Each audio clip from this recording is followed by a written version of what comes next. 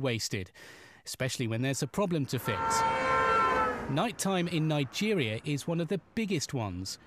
Around half of the country's 160 million people have no access to electricity, and those who do can't count on a regular supply. The solution may be found a lot closer to home than you think.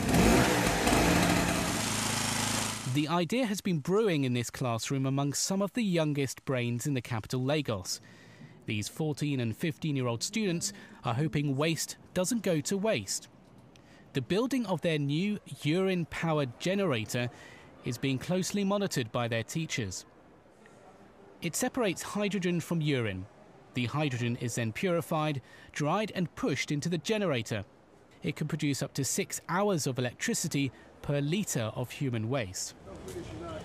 People in Nigeria have been facing petrol price hikes, a shortage, and seen fuel subsidies cut in the past. Other power options are too pricey for many. So, if this idea from the classroom can be developed on a larger scale, it may be the light at the end of the tunnel. It's a chemistry lesson with a difference. The teachers are all ears, while their pupils demonstrate an invention they think could help solve Nigeria's chronic electricity shortage. Their invention is the ultimate in waste recycling, harnessing the power of P to make a generator. So we opted for urine since one it's a waste product, and if we use urine as our in as we carry out electrolysis, if we use urine, our waste product or our exhaust gas is going to be water, and that's not poisonous to our environment.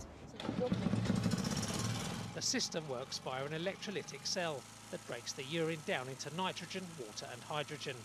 14-year-old Juro Aina Adebola is one of four girls at Lagos's Doregos Private Academy who devised the generator.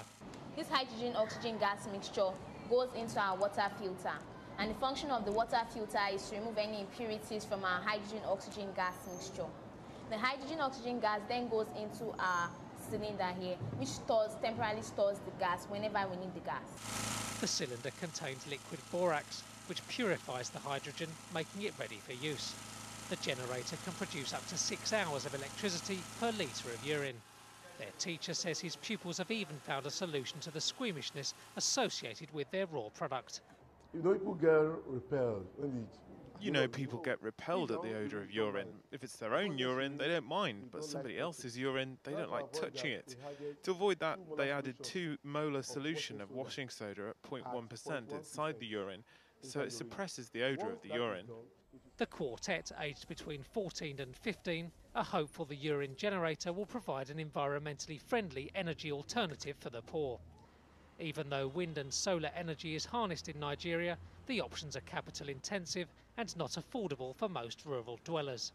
The young innovators have spent just $64 on their invention and believe with another small investment they can make the device more compact and more practical in millions of homes throughout the developing world.